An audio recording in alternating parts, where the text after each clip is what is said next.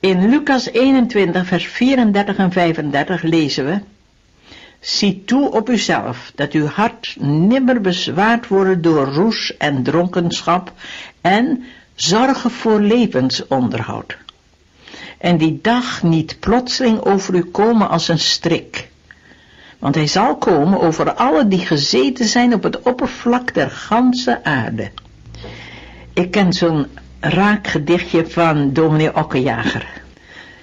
Kom haastig, Jezus, bidt de predikant.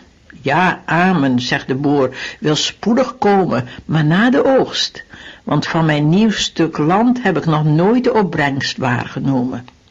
Ja, amen, zegt mevrouw, maar mag ik voor de bontjas die ik gisteren zag hangen eerst paren en hem aandoen als het korenavond geeft in christelijke belangen? Ja, amen, zegt het kind, maar nu nog niet. Ik moet nog met vakantie naar de bossen. Maar ik zal zwaaien, zodat u het ziet als u ons onder schooltijd komt verlossen. Kom haastig, Jezus, bidt de predikant, maar mag ik eerst die nieuwe lezing lezen, die ik gemaakt heb voor het jeugdverband over, gij zult het verstaan na deze. De beden komen in de hemel aan, de cherubijnen zwijgen, die ze brachten. En Jezus vraagt, kan ik vandaag al gaan? Zijn vader zucht, ge moet nog even wachten. Zorgen voor het levensonderhoud kunnen ons zo bezighouden dat de dag des Heeren over ons komen kan als een strik. Maar niet alleen de zorgen, ook de leuke verwachtingen. De oogst van het nieuwe stuk land, de bontjas, de vakantie, de lezing over een bijbels onderwerp, op zichzelf allemaal zulke goede dingen. Ik herinner me momenten tijdens de Wereldoorlog. Als op een ogenblik ons leven in direct gevaar was bij een bombardement of in de gevangenis, dan was het net of je ineens de dingen zag als het ware van Gods gezichtspunt. En je kreeg heel andere perspectieven, omdat je de dood en daardoor de eeuwigheid aanraakte. Je zag de kleine dingen klein, de grote dingen groot.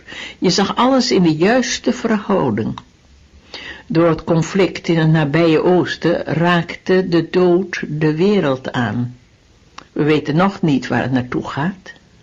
We hebben zelden met zoveel aandacht de profetieën van de Bijbel samen met de krant gelezen als in die dagen en nu ook.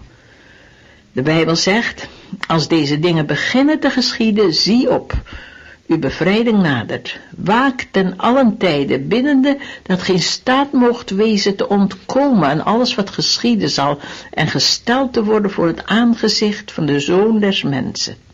Het kan nog wel een poos duren voor Jezus komt, maar het kan ook best gebeuren dat hij heel gauw komt. Bent u klaar?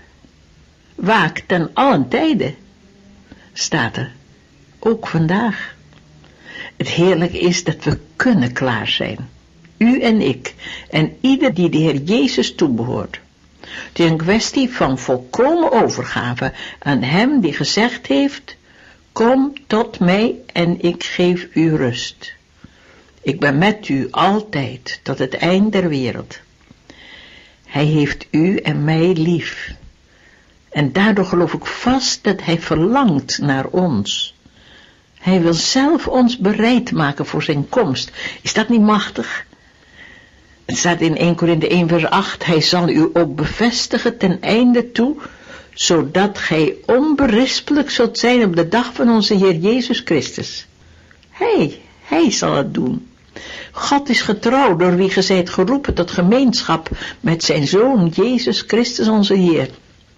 En dan in 1 Thessalonicense 3 vers 13 staat er, en u doet de Heere toenemen en overvloedig worden in de liefde tot elkander en tot allen, zoals ook wij gezind zijn jegens u, om uw harten te versterken, zodat ze onberispelijk zijn in heiligheid voor onze God en Vader bij de komst van onze Heer Jezus met al zijn heiligen. Mijn vader had zulke heerlijke slagzinnen, die hij dikwijls, maar nooit te dikwijls herhaalde. Ik eindig dit radiopraatje met wat hij zei van Jezus. Als hij ons aangrijpt, dan houdt hij ons vast. Als hij ons vasthoudt, dan leidt hij ons voort. Als hij ons voortleidt, dan brengt hij ons eenmaal veilig thuis. Heerlijk, hè? Leg uw hand dan nu op dit ogenblik in zijn hand, in Jezus' hand. Dank u, Heer Jezus, dat dit veel meer waar is en veel heerlijker dan dat ik het zeggen kan. Dank u dat u aan het kruis onze zonde en de zonde van de hele wereld gedragen hebt en dat u ons tot Gods kinder wilt maken. Iedereen die het maar aannemen wil. Dank u dat u zelf ook nog ons klaar wil maken voor uw wederkomst door uw heilige geest. Ons overvloedig wil maken in de liefde tot elkander vandaag.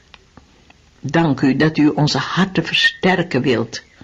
We hebben heel erg nodig om sterke harten te hebben in deze bewogen tijd. Dank u dat u, u ons bereid wilt maken voor die heerlijke dag, dat wij u zien zullen, zomaar aangezicht tot aangezicht. Kom haastig, Heer Jezus. Amen.